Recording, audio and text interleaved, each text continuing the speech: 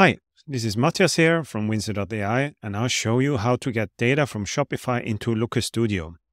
Now, as a prerequisite for this exercise, you will need to make sure that you have admin rights to a Shopify store so that you can install a new app. And then you need to have data in your Shopify store, which you hopefully have.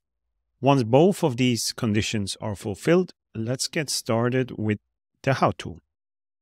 As a first step, you head to lookerstudio.google.com, click on Create, Data Source, Shopify, and then you will find a Windsor.ai Shopify connector, which I can see here. Then you install it. You click on Authorize, and now in here, you will be redirected to the Shopify App Store.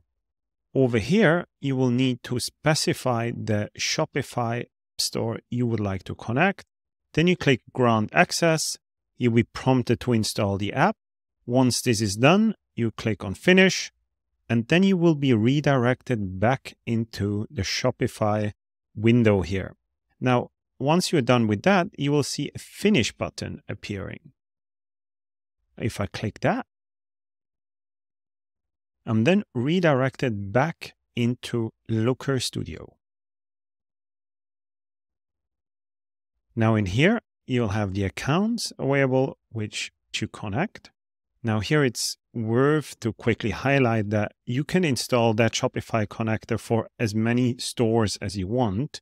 By default, if you do not select anything in the account selector, we will stream the data of all the Shopify accounts into the report you're about to build.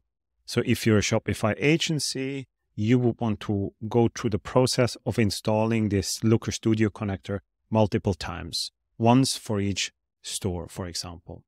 Now, once I'm happy with the selection of my accounts, I click on Connect. And now I have all the fields available from Shopify. And then as a next step, I click on Create Report. And now the report is being initialized. And now my sample data, which I've created for this demo is available here and we can go and edit the template. Now in this table here, we see details about orders. So I could start looking at what orders data I would like to add. So for example, I would like to add the order ID and then I start drag and drop and customizing my report. Now you're good to go and you're Shopify data is inside Looker Studio. Thanks very much for watching and have fun using our connectors.